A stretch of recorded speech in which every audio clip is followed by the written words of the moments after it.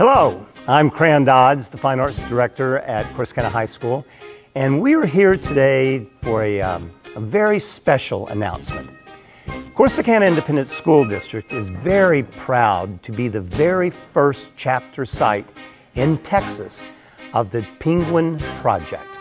The Penguin Project is a, um, it's a magical and touching celebration of the human spirit that unfolds on stage. Children across the district, ages 10 to 21, will audition to participate in a well-known Broadway musical. However, these productions are unique. All the roles are filled by young artists with developmental disabilities such as autism, intellectual disabilities, visual or hearing impairments, and other neurological disorders. The selected student stars are joined on stage by dedicated peer mentors, children the same age without disabilities.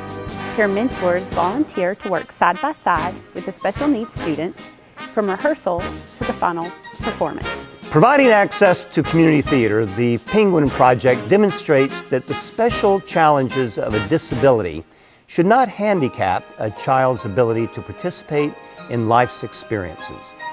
This program provides a supportive environment for children with disabilities to explore their creative talents.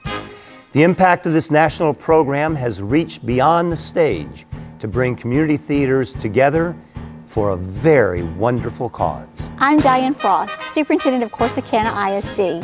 I'm proud to announce that in April of 2020, Corsicana High School, in conjunction with the Penguin Project, will premiere a stage production of the Broadway musical Annie. We want you to join with Sandy and be a part of this amazing experience. We're looking for sponsors, peer mentors, cast, crew, and volunteers to help produce the show. Go to www.cisd.org and click on the Penguin Project to sign up for updates.